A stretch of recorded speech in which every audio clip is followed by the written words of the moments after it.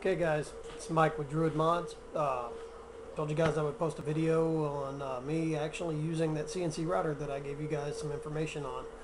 Uh, anyways, I went ahead and I had to run through a lot of different setups on it to do get the parameters right, the uh, uh, the sequencing inside of the uh, servo motor, well not servo motors, but stepper motors to that everything worked correctly. So if you guys decide to get one, you need to pay attention to that or you'll end up screwing up some stuff. So anyways, as I promised, I'm going to run it for the very first time on my IV, uh, IPV. So let's see what she does. I'm going to go ahead and flip her around. Okay, basically what we're looking at right here this is the router.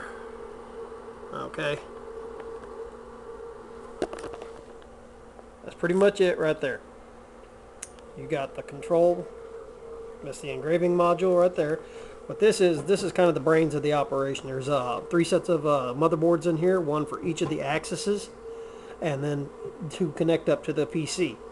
And basically, you just need to use some sort of hard drive or tower. Keyboard, and mouse.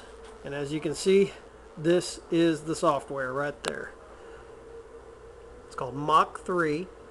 It's relatively easy to use. Uh, you kind of do have to understand G-code unless you can actually figure out some of the other coding software that is used. Uh, I used uh, F-Engrave just to do this little one. I said I was going to do the Tree of Life on the back of it. Um, having issues with the JPEG, with the uh, bitmap on that one. So instead I decided to do something a little different. I decided to go with this image right here. Okay. This is called uh, the Children of Gaia, or the Children of Earth, basically. This is uh, also a Druid symbol. So we go back to the main software got your control start. You can see my little mouse moving right there. I'm going to go ahead and hover my mouse pad right over that. And now we're going to come back over to here so we can watch the total destruction of my IB, uh, IPV. And we hit, oh, turn the, turn the spindle on. Full blast. And now we hit cycle start.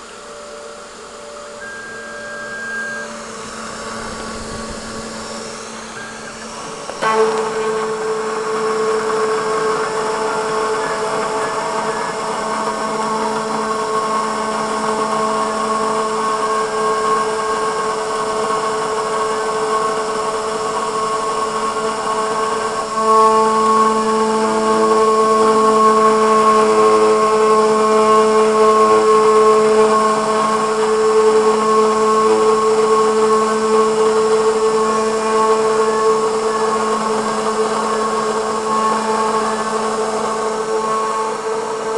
about five thousandths into the uh, cover of this thing.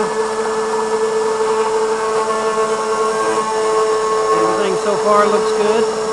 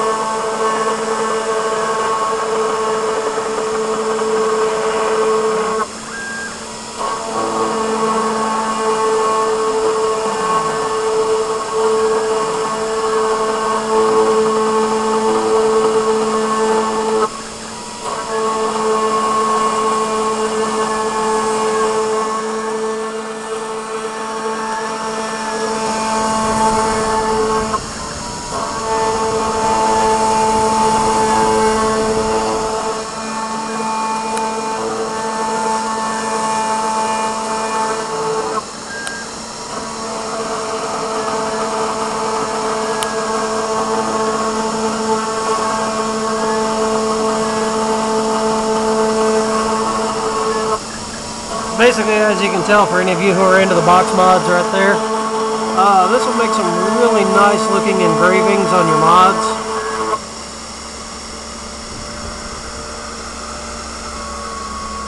And it's done. No total destruction to my IPV. So basically, let's move this out of the way now.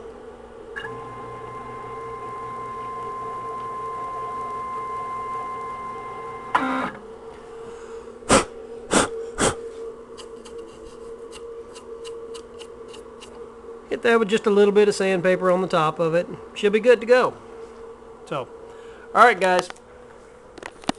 Alright, turn that camera around. Okay guys, uh, a lot of you were jumping to, jumping the gun immediately saying, hey, I'm going to run out and buy one of these things. Uh, I would not suggest doing that until you've at least gone over to uh, 3's website and at least download the demo. Uh, you don't have to have a router hooked up to it in order for it to work. You can actually do some mock simulations, learn how to do the programming and so on. Uh, download some uh, G-coding information on how to, how to program it. Uh, Haas CNC Mills is a good place to it. They've actually got workbooks that you can get there. Because I would really hate for you guys to go out and spend 500 to $1,000 on something that's just going to be a paperweight in your office. Uh, so guys, that's it for now. Uh, signing off. This is Mike with Druid Mods. Uh, you can contact me at druidmods at gmail.com. Talk to you guys later.